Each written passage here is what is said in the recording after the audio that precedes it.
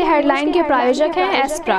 Gorakhpur news के सह प्रायोजक हैं doctor Rana hospital private limited and trauma centre. शिक्षक के साथ बच्चों के मित्र और मार्गदर्शक भी बने। मुख्यमंत्री योगी आदित्यनाथ ने परिषदीय विद्यालयों के इकतीस शिक्षकों को दिया नियुक्ति पत्र। कहा 100 दिन में हर प्राथमिक विद्यालय में उपलब्ध होगी शुद्ध पेयजल की सुविधा। नियुक्तियों में शुचिता और पारदर्शिता के लिए प्रतिबद्ध है यूपी सरकार। शाहपुर थाना क्षेत्र में डबल मर्डर का एसएसपी जोगेंद्र कुमार ने किया 12 घंटे के अंदर सनसनीखेज खुलासा। कहा, आरोपी बेटे ने ही माँ और भांजे की की थी हत्या। प्रॉपर्टी के लालच में दिया गया था घटना को अंजाम। काला नमक धान को बनाएँगे बासमती की तरह अंतर्राष्ट्रीय ब्रांड सीआईआई कृषि और खाद तकनीक समारोह 2020 तथा अंतर्राष्ट्रीय कृषि सप्ताह के शुभारंभ में बोले मुख्यमंत्री योगी आदित्यनाथ, कहा, वाराणसी को सब्ज़ी निर्यात का हब बनाने की दिशा में होगा काम। वीडियो कॉन्फ्रेंसिंग के माध्यम से मुख्यमंत्री योगी आदित्यनाथ ने लखनऊ से तथा गोरखपुर में ज़िले के प्रभारी मंत्री ने नव नियुक्त सहायक अध्यापकों को सौंपा नियुक्ति पत्र, दी शुभकामनाएँ, कहा, मेहनत का नहीं होता कोई विकल्प, अपने दायित्वों का करें पूरी निष्ठा, लगन व ईमानदारी के साथ निर्वहन। गुलरिया थाना क्षेत्र के जंगल अयोध्या प्रसाद के सियारामपुर गाँव में 25 वर्षीय युवक राणा चौहान की की गई हत्या। मौके पर पहुँची पुलिस, फॉरेंसिक टीम जाँच में जुटी। एसपी नार्थ ने कहा, पिता से मिली तहरीर के आधार पर मुकदमा पंजीकृत कर आरोपियों की तलाश जारी।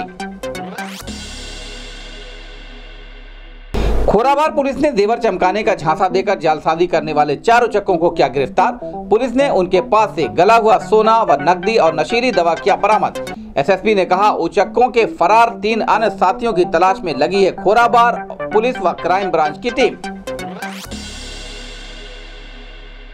ज़िले के प्रभारी मंत्री रमापति शास्त्री की अध्यक्षता में एनएक्सी भवन के सभागार में संपन्न हुआ नव नियुक्त सहायक महिला अध्यापकों के नियुक्ति पत्र वितरण का कार्यक्रम।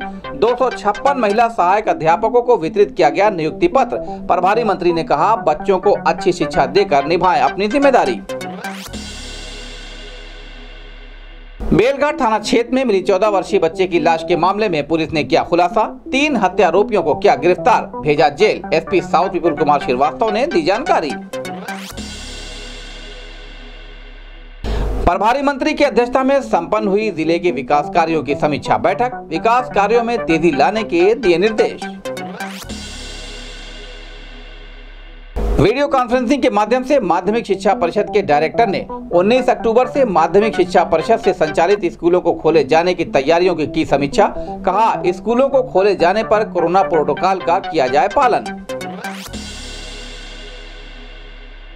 कुत्ते बिल्ली बंदर के काटने पर ही नहीं, इंसान के काटने पर भी लगवाएँ एंटी रेबीज इंजेक्शन। वरिष्ठ फिजिशियन डॉक्टर राजेश कुमार ने कहा एंटी रेबीज इंजेक्शन का नहीं है कोई दुष्प्रभाव। गोरखपुर में शुक्रवार को मिले 148 नए कोरोना संक्रमित मरीज़, चार की हुई मौत। ज़िले में संक्रमित मरीजों की संख्या हुई सत्रह एक्टिव मरीज़ हुए चौदह सीएमओ डॉक्टर श्रीकांत तिवारी ने की पुष्टि। बेरोजगार फार्मासिस्ट उत्थान सेवा संस्थान उत्तर प्रदेश के महामंत्री ने मंडलायुक्त को पत्र देकर मंडल में थोक दवा विक्रेताओं द्वारा बिना ड्रग लाइसेंस के धड़ल्ले से किए जा रहे दवा कारोबार की जाँच कराने की की मांग, कहा, अवैध रूप से संचालित दवा की दुकानों की कराई जाए, जाँच की जाए कार्रवाई। 17 अक्टूबर से शुरू हो रहे शारदीय नवरात्रि को लेकर भक्तों की आराधना के लिए मंदिर तैयार। काली मंदिर के पुजारी ने कहा, कोरोना प्रोटोकॉल के तहत एक साथ केवल पाँच श्रद्धालुओं का होगा मंदिर में प्रवेश। शेष को करना होगा इंतज़ार।